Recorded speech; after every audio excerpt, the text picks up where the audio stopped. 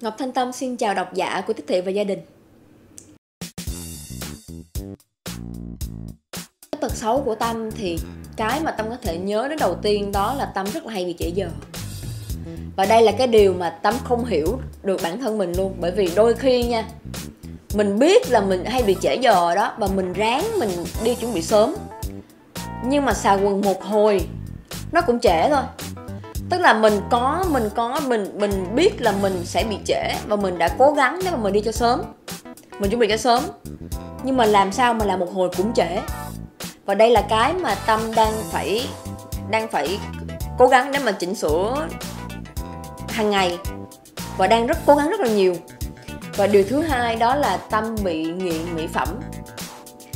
Và rất là nhiều người đã nói cũng, họ họ cũng không phải là complain gì, nhưng mà nhưng mà họ bị là hay nhắc đi nhắc lại và làm tâm cũng rất là bực. Bởi vì tâm thấy là mình mình mình thích mua mỹ phẩm thì mình mua thôi. Có gì mà nói hoài với mình là bởi vì là có nhiều người họ thích mua xe. Họ thích mua đồng hồ. Thì đó là cũng bởi vì là họ thích. Thì đây là tâm là đam mê của tâm là uh, tâm bị nghiện mỹ phẩm. Thì đôi khi có những cái mà tâm đã có rồi thì tâm sẽ ráng tâm xài cho hết để tâm được mua cái món mới chẳng hạn và tâm sẽ sử dụng rất là nhiều tiền cho những cái món mỹ phẩm ờ, điều thứ ba về tâm, đó là tâm. Biết cái này là điều tốt hay điều xấu, nhưng mà số thứ tâm bị máy móc. Đôi khi là bởi vì là mình cần phải làm gấp, làm nhanh để đi đi. Tâm vẫn phải làm cho đủ hết tất cả các bước mà tâm nghĩ là mình cần phải chuẩn bị. Vì tâm biết là bước một là như thế nào, bước hai như thế nào, bước ba như thế nào. Đôi khi mình gấp thì mình có thể bỏ bước hai chẳng hạn. Nhưng mà tâm vẫn cảm thấy là mình đã làm thì phải làm cho làm cho đủ, không được thiếu và đó cũng là một cái nó vừa tốt mà nó vừa xấu bởi vì khi mà mình trễ giờ thì đó là cái điều xấu.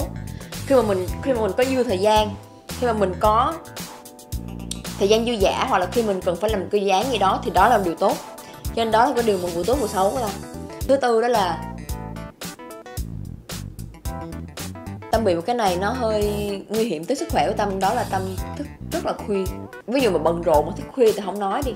Đây đôi khi chỉ là chỉ là uh, không làm gì cả. Rất nhiều thời gian rảnh. Cũng thức rất khuya, bởi vì đó là một cái thói quen. Rồi thứ năm, cái cuối cùng đó là đó là tâm bị nghiện điện thoại rất nặng. Và tâm khi mà tâm không có điện thoại trên tay là tâm cảm thấy cái gì đó rất là thiếu vắng, và tâm cảm thấy là nó bị nó bị thiếu và như là con nghiện mà cần phải được cầm vào điện thoại 24 trên 7 vô tình mà đang ngủ mà chẳng may mà mở mắt dậy thì cũng phải chụp điện thoại đầu tiên, sau đó bỏ điện thoại xuống ngủ tiếp, cũng có.